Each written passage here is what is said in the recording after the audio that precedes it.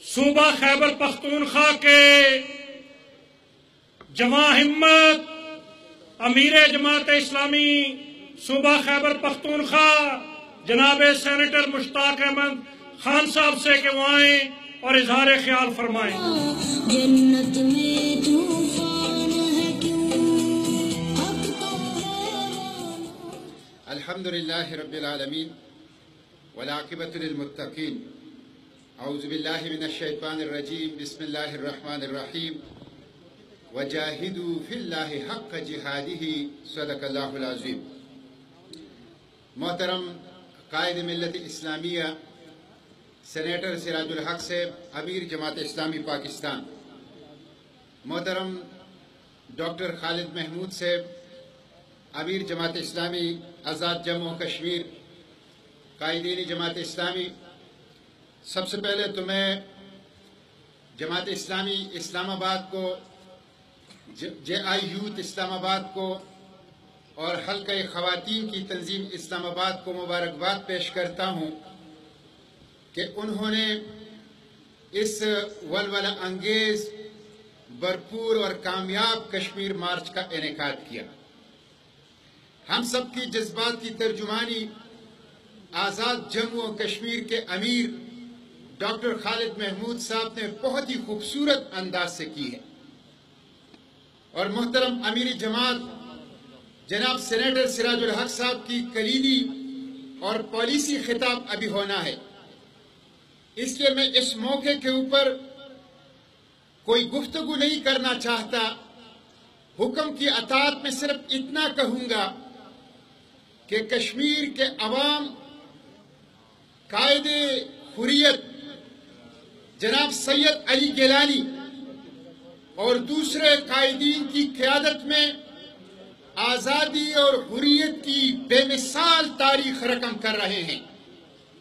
ہم سید علی گیلانی کی قیادت میں، حریت قیادت کی قیادت میں، کشمیری عوام کی جد جہد آزادی کو سلام بھی پیش کرتے ہیں اور خراج تحسین بھی پیش کرتے ہیں۔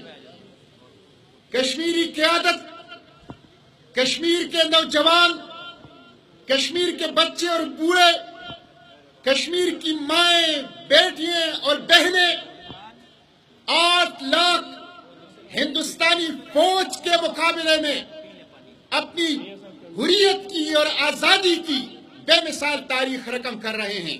ہم ان کو خراج تحسین پیش کرتے ہیں، ہم ان کو سلام پیش کرتے ہیں اور پاکستانی قوم کی طرف سے ان کے ساتھ اظہار یکجہتی کرتے ہیں۔ میرے بھائیوں اور بہنوں، ابھی چند دن پہلے برہان مظفر وانی شہید کے راستے پر چلتے ہوئے منان بشیر وانی، جو کہ پی ایچ ڈی اسکالر تھا، انہوں نے شہادت کا رتبہ حاصل کیا اور پوری دنیا کو پیغام دیا کہ کشمیری عوام کسی صورت بھی ہندوستان کے تسلط کو اور قبضے کو برداشت کرنے کے لیے تیار نہیں ہے۔ ہندوستان ایک دہشت گرد ریاست ہے۔ مودی ایک دہشت گرد ہے۔ اور ہندوستانی فوج ریاستی دہشت گردی کا ارتکاب مقبوضہ کشمیر کے اندر کر رہی ہے۔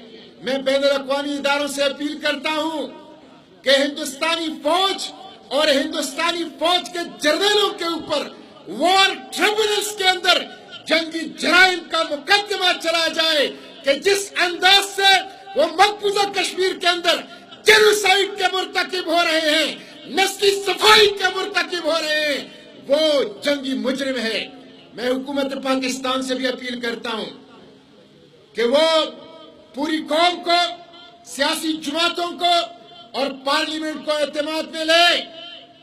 ڈپلومیٹک مشن کو متحرک کرے۔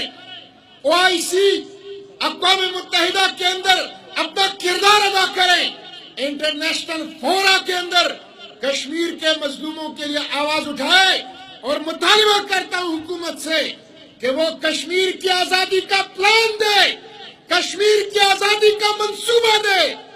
میں اس موقع کے اوپر خیبر پختونخوا کے عوام کی نمائندگی کرتے ہوئے حکومت سے یہ بھی اپیل کرتا ہوں کہ آج جو کشمیر آزاد ہے، اس میں خیبر پختونخوا کے غیور پختونوں کا خون شامل ہے۔ اگر حکومت کشمیر کے مظلوم عوام کی مدد نہیں کر سکتے خیبر پختونخوا کے غیور پختون تیار ہیں ہمیں راستہ دی جائے انشاءاللہ مقبوضہ کشمیر کو خیبر پختونخوا کے پختون آزاد کریں گے انشاءاللہ. وآخر دعوانا ان الحمدللہ رب العالمین.